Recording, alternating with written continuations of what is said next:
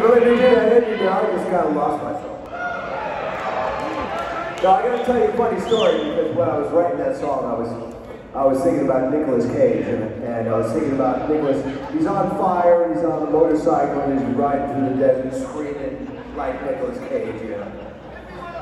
Yes. And uh, and the devil's chasing him, so I'm thinking, well, I gotta keep playing this song so the devil doesn't catch up to Nicolas Cage. So that's why I was playing that. All right. That's not much of an excuse, but there it is.